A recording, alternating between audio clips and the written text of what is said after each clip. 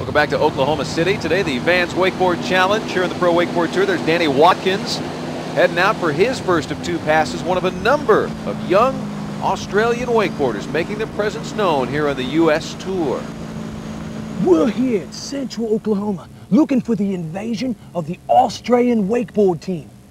We found tracks right here of the Sandorius Joshness, and I think otherwise known as Joshy Sanders. Oh, look at this specimen actually right now found in his natural habitat, looking for water so he can throw front mobes and KGBs.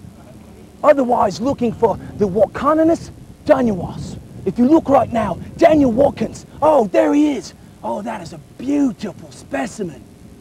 Look at the intelligence of this human. Unbelievable. But now we must be very quiet when sneaking through the woods looking for the Azonaurus brettaurus, otherwise known as the Ike Eisenhower.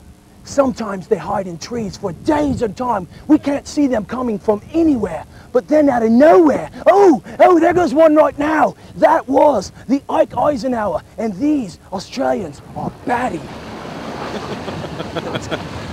You're watching way too much TV, brother. Danny Watkins on the water now. He is the two-time Aussie national champion.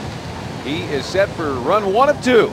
Daniel Prime for some good wakeboarding today. There goes an off-axis 540. This kid's putting together some pretty good tricks.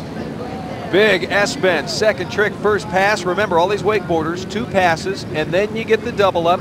Judges are looking at execution, style, and intensity, and so far, intensity a big plus for Danny. Sure is. Danny Watkins, oh, barely getting the railing. Ollie's halfway up that ramp before he gets the pump off the top. That was an incredible job and good recovery for Daniel Watkins. Gets one more trick at the end of the pass, but what a great, great first pass for Watkins. Tell you what, you get a good look right there of a good-looking S-bend well out into the flats, a great landing. Watch again as he comes in. This is pretty big. Can't do it better than that. Tell you what, that was awesome. Get a look right here. You don't even get an idea how close he was here. He barely gets the railing. You can see he doesn't quite go as huge as he normally does. Ollie's up, halfway up the ramp, and has the presence of mind to do the pump off the top. That was an incredible look. Now take a look at this again. Yeah, we see it from the angle we just did. I don't think he had a choice but to ollie halfway up the ramp. It was either come in contact via head and face or ollie up halfway.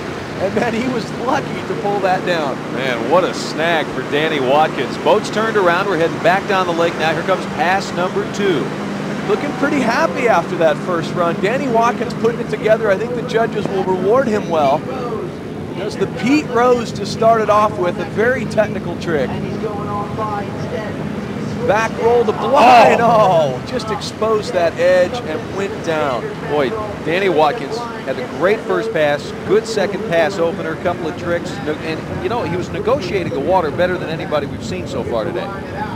Boy, sure was. I tell you, get a good look at the Pete right here. That was an incredible trick. And then he comes back the other direction. Let's take a look at it again seems to have everything okay right there. But then on the roll to blind, just kind of goes down. Watch this. He comes around about right there. He chops the wake and gets his weight a little back. That exposes that front edge when he gets his balance back. He just goes down. Well, he gets to get back up in time to get down the lake and get the double up. All the riders on the tour have the opportunity for one fall, and then if they fall a second time, it's done.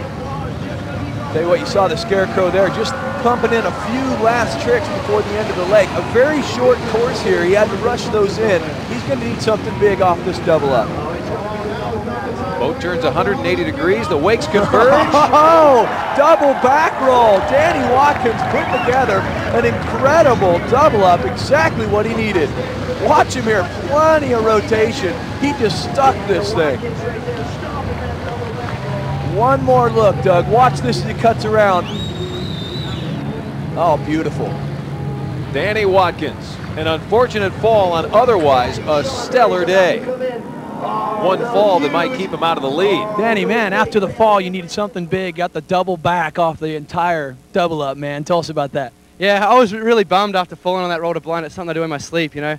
But um, then I knew I had to come up and back it up with something pretty big. That's why I did two pretty easy tricks. After that, I just did a front flip and then a scarecrow because I knew that uh, I wanted to hit the double up and then I hit it, so I'm stoked. All right, good ride.